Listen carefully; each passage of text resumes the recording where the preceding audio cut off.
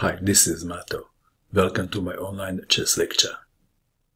In this video I will show you a game between George Marshall Norman and Akiba Rubinstein. This game was played in Hastings in 1922. George Marshall Norman had white pieces and he started with d4. Black to move. And black didn't make a move. Why? Rubinstein was 30 minutes late. The rumor says that he was late because he visited a beauty shop to trim his mustache. d5. Some 30 minutes later. Knight to f3, e6, c4, the queen's gambit, maybe. a6, white to move. e3 and c takes on d5, were even then the two most played moves. But Norman played a novelty to get out of the book and perhaps gain more time on the clock. c5, and after only four moves had been played, both players were out of the book, but Rubinstein had less time on the clock. c takes on d5, e takes on d5, knight to c3, knight to c6, g3, intending to fianchetto the bishop and apply pressure on the pawn on d5. White intends to give black an IQP. Knight to f6, bishop to g2, bishop to e6, castling, bishop to e7, bishop to e3, black to move and castling must wait. Knight to g4, attacking the bishop. Queen to d2. Knight takes bishop, queen takes knight. Bishop to f6. Rubinstein was on the ball. Rook from f to d1. c takes on d4. Knight takes on d4. Knight takes knight.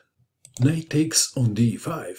The idea is, if bishop takes knight, queen takes king. Just kidding. Black to move. Knight to c2. Knights are specialists in forking like this. Queen to f4. Black to move. What would you do? I guess some players would take the rook. Rubinstein castled kingside. Let's take it back. If knight takes rook, then knight to c7 check. And after the king moves, rook takes queen. If that happened, Rubinstein would shave off his mustache. Back to our game. In this position, Rubinstein castled kingside. Knight to c7, queen to e7, rook from a to c1. Let's take it back. If knight takes on a8, knight takes rook, and after knight to c7, knight to b3. Black is better. If you don't believe me, just count the pieces. Back to our game. Rook from a to c1, bishop to g5, queen to e5, bishop takes on c1, rook takes bishop, black to move. Should black move the knight to a safe spot? Or maybe the rook? What would you do? Rubinstein played queen to b4. This is a brilliant move. I will not spoil it by saying why. You will see this for yourself. White to move. Knight takes rook. Rook takes knight. White to move. Bishop to e4. Let's take it back. If rook takes knight, then queen to e1 check. And after bishop to f1, bishop to h3 and black wins.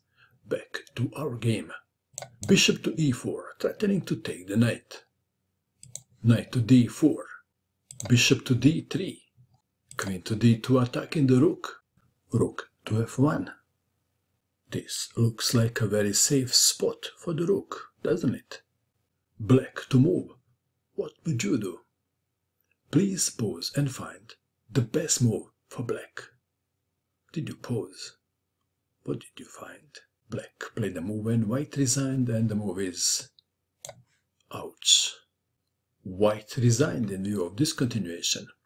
Pawn takes queen. Knight to f3 check and after king to g2 Knight takes queen. Wow, what a beauty. What do you think of this game? And that is all. I hope that you enjoyed watching this video. I wish you good luck with your chess and bye for now.